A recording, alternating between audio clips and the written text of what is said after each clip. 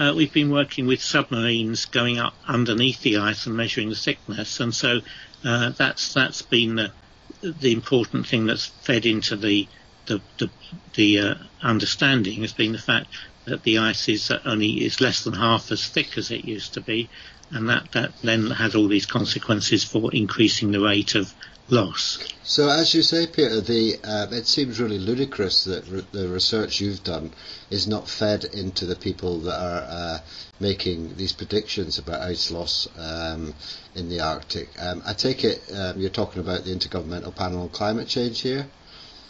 Um, yes, I mean uh, it is it is fed in in the sense that that people, uh, a lot of modelers are now coming up with uh, with model, model predictions that do match the data better. Right. And uh, so, so really, they the modelers are many of them are catching up. But uh, IPCC has always been behindhand because of the fact that everything they they do has to be uh, at least sort of two years old. Uh, so it, it's it's they're always catching up, um, whereas and they're always behindhand. Whereas uh, modelers who are trying to match the data are are doing a better job.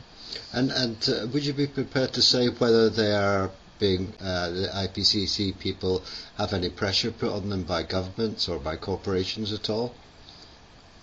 Uh, well, they obviously do in the case of the policymakers summary that the, mm-hmm. the original IPCC reports are pretty uh, and I, have been involved in this process, that right. that the the reports are are are, are done uh, according to the best science that that, that you you can use, mm-hmm. um, but um, there's a policymaker summary which, which where the the the elements of the basic elements of, of the IPCC prediction result, results are are put in a simple form um, for policymakers to, to, to use. That's people who, who, who, sort of plan on things like sea level rise and how much we have to allow yeah. for and so on.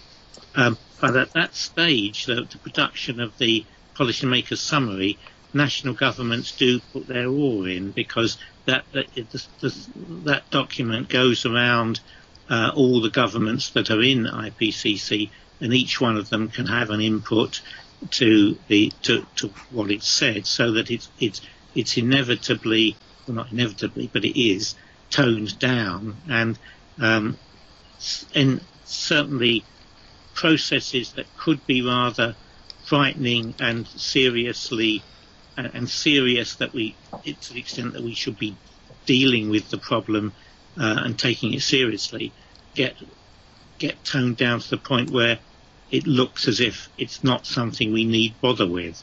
And I think one of the one of the examples of that is uh, release of methane from the Arctic, mm-hmm. uh, from um, from the Arctic seabed, which most people who've studied that uh, it, it think that this could be a very serious problem for world climate, um, but you won't see that in the IPCC um, policymaker supplement.